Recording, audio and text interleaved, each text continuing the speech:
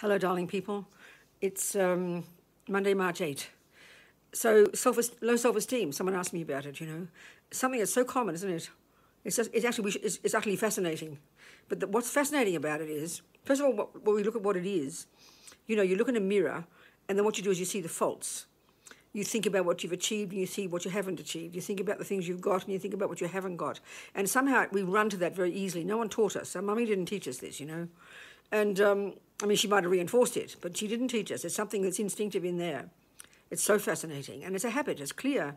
But the outrageous thing is, we need to know why we believe it. It's a thought. A thought arises, and it becomes a feeling. But the tragedy is we believe it. And we know that 27 people can tell you, no, Robina, you really look rather lovely. You know, you are. And you don't believe. We're hungry to hear it. This is the tragedy, but we don't believe it.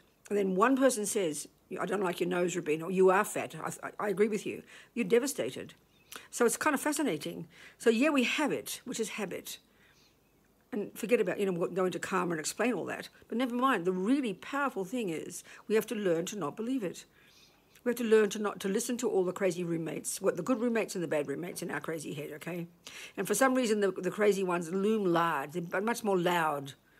You know, I've never met a person who says, "Oh, I can't stop thinking good thoughts all day." You know, we, somehow it's the irony of ego. But the key practice is to hear them and then actually stop and, and say to yourself, I wonder if it's true.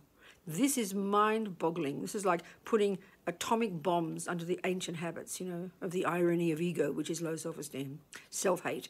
One time the, the Dalai Lama heard is about the, the suffering, in, especially in the West, and he said, This is a mental illness. We should, have, we should have such compassion for ourselves, but stop believing it. And then you, it doesn't work overnight, but slowly, slowly, you start to change the script in your own head, you know? Absolutely. Do it every day.